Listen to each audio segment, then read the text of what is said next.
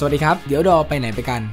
EP นี้เราจะไปป่าตะลุยเขากันครับ ใบให้แล้วกัน แหล่งใหญ่แร่ทอง ลองกองหอมหวาน อะ ใช่แล้วครับ จังหวัดนราธิวาสครับ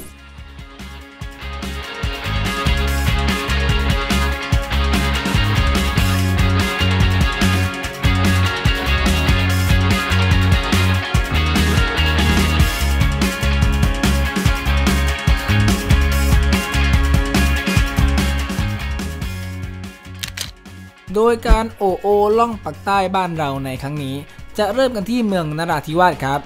เดินทางไปยังผาอโศกจุดหมายปลายทางอยู่ในอำเภอสุขิริน ระยะทางในการเดินทางโดยประมาณครับ 72 กิโลเมตร ทรัพยากรธรรมชาติในผืนป่าแห่งนี้เป็นป่าเดียวกับเทือกเขาสันกาลาคิรี ที่มีอาณาบริเวณตั้งแต่อำเภอแวงจนถึงอำเภอเบตงเลยนะเออ ซึ่งสำหรับสายป่าสายอนุรักษ์เนี่ยบอกเลยว่าโดนจริตแน่นอนครับเพราะป่าแห่างนี้อุดมสมบูรณ์ไปด้วยต้นไม้ ทั้งต้นไม้เล็กต้นไม้ใหญ่และพืชพันธุ์ต่างๆ ส่วนเส้นทางขึ้นไปชมความสวยงามของธรรมชาติจะเป็นยังไง ไปชมกันได้เลยครับกับ EP ที่ 15 ผาอโศก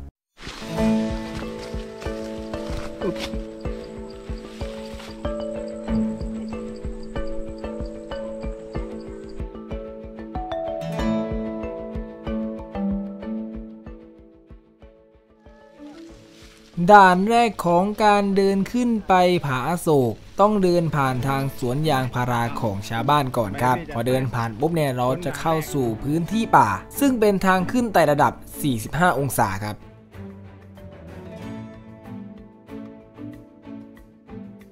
โดยเส้นทางขึ้นนี่ต้องบอกว่าไม่ง่ายเลยครับ เพราะบนหลังของทุกคนต้องเตรียมน้ำอาหารที่นอนต่างๆขึ้นไปเอง เหตุผลที่ต้องเตรียมไปครบครันขนาดนั้น เพราะ ด้านบนผาโศกไม่มีสิ่งอำนวยความสะดวกให้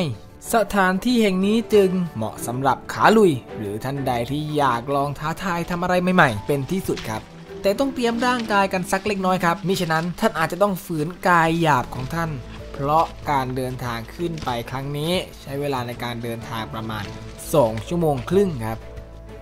ไม่หนักมากแล้วก็ไม่เบาเกินไปครับ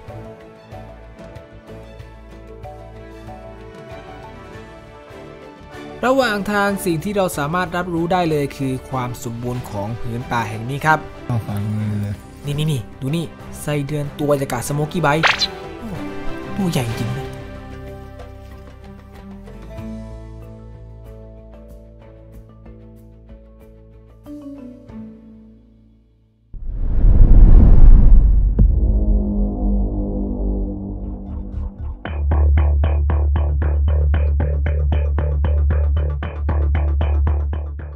เดินมาระยะหนึ่ง อาการเหนื่อยเริ่มออก ก็ต้องหยุดพักครับ คลายอาการเหนื่อยเมื่อยล้ากันหน่อย แต่พักเฉยๆไม่ได้ครับ ต้องหาอะไรกระตุ้นร่างกายกันหน่อย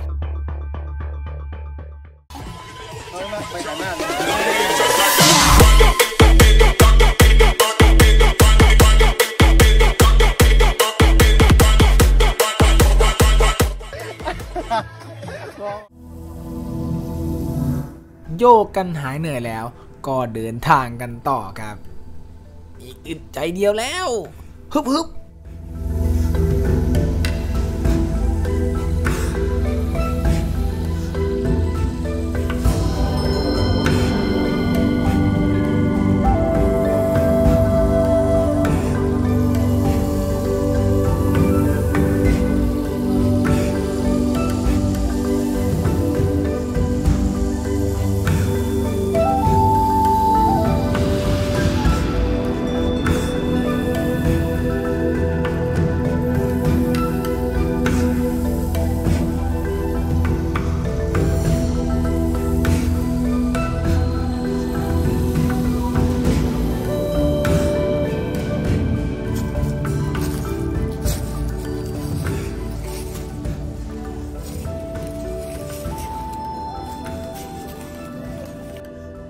และแล้วเราก็มาถึงที่นี่ครับ จุดหมายของพวกเรา จุดสูงสุดของผาอโศก ผาอโศกแห่งนี้สูงจากระดับน้ำทะเลปานกลาง 570 เมตร มุมมอง 360 องศา คุ้มค่ากับเหงื่อที่เสียไปกับเส้นทางขาขึ้นครับ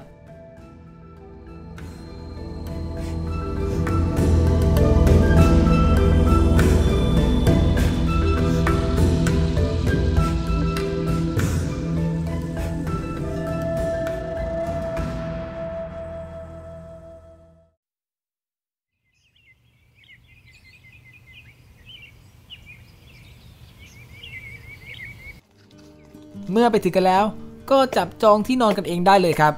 ข้อแนะนำครับ ควรพาเปลมาผูกนอนครับ เพราะพื้นที่ที่ใช้กางเต็นท์มีน้อยมากครับ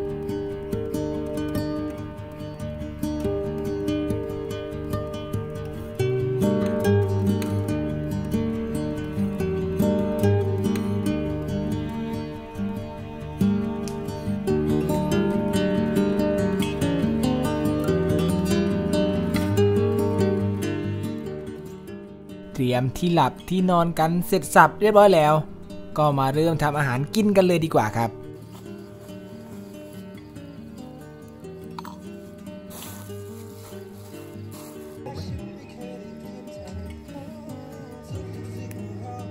นี่เราไม่ได้อยู่พม่านะเราเพราะว่าเราไม่ได้ย่างกุ้ง เราย่างลูกชิ้นกันนะครับ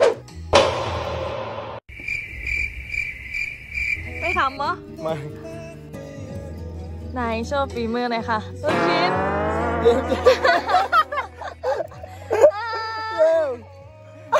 ช่วงกลางคืนก็ค่อนข้างหนาวครับ เพราะมีลมพัดตลอดทั้งคืน อย่างโชคดีครับที่ทริปนี้ไม่เจอฝน พี่ไกด์ของเราบอกว่าข้อดีของเขตป่าดิบชื้นเนี่ยคือมีหมอกให้ชมตลอดทั้งปีครับ แต่ไม่รับประกันว่าจะมีมากหรือมีน้อย หรือบางวันอาจจะไม่มีเลย ตรงนั้นให้มันเป็นเรื่องของธรรมชาติครับ งั้นเราไปพักผ่อนเตรียมตัวสำหรับเช้าวันพรุ่งนี้กันดีกว่าครับ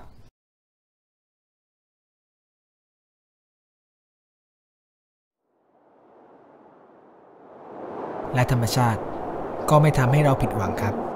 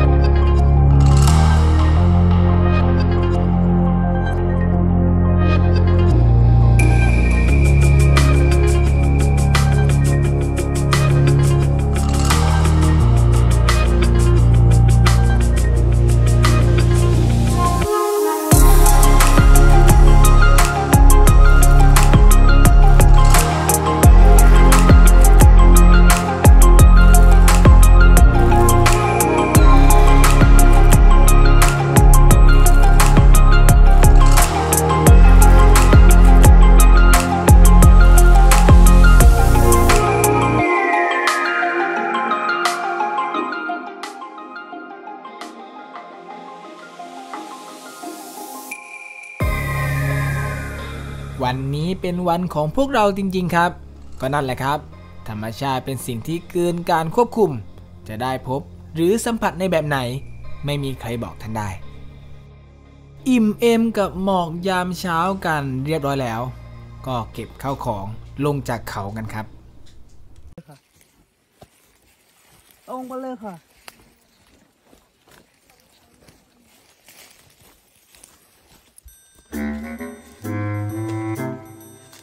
ผา